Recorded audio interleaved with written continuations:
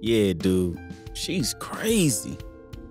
I don't know about that. That's kind of stigmatizing to say. Huh? What's a stigma?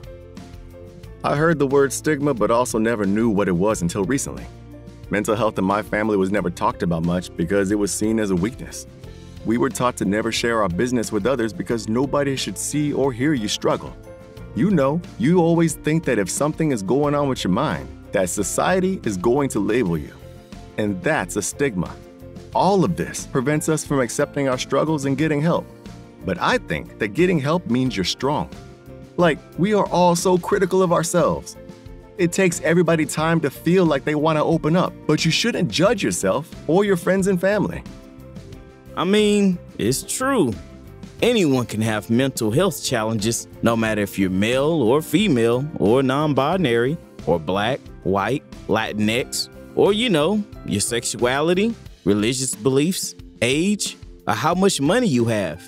Anyone can struggle. Even I've struggled. Yeah, and stigma is often what stops you from getting help. Because, like, you might think that you'll be treated differently or face discrimination if you admit that you're struggling.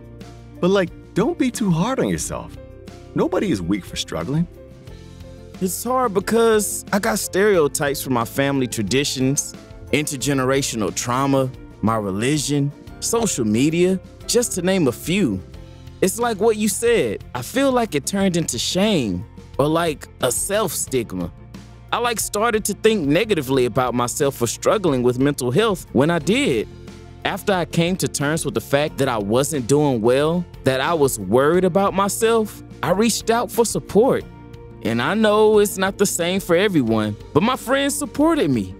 They offered to go to group sessions with me or gave me a ride and told me that it didn't change how they thought of me. I didn't expect them to react that way because we don't have these type of conversations, you know? But I'm glad I said something. I'm still having conversations with my family. Maybe they'll come around when they know more. We can get rid of stigma by taking care of ourselves and encouraging each other to do the same. I think mental and physical wellness are similar, but mental pain isn't always visible. If someone has the flu or a broken bone, we don't judge or blame them. We encourage them to take care of themselves. It should be the same for mental health. 100%. But yeah, stigma is everywhere. It's on the media and on TV, but also in the language we use, like you calling that girl crazy or someone saying, you'll get over it. That stuff can affect people negatively. It can cause bullying, and it can make someone believe that they'll never recover or that they're a worse person somehow, which is just not true. Getting help for your mental health doesn't define who you are or change your ability to be independent. It means that you're able to find solutions and healing. You're right. I guess what I meant to say is that she doesn't seem like herself, that something is different, and I am concerned. Yeah, that sounds better.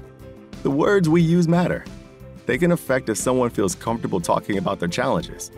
I'd say that if someone reaches out to you for support, make sure they know that you're there for them and that this doesn't change how you think of them. When people understand what mental health is, that mental health doesn't change who you are as a person, then stigmas won't have such an impact on our community.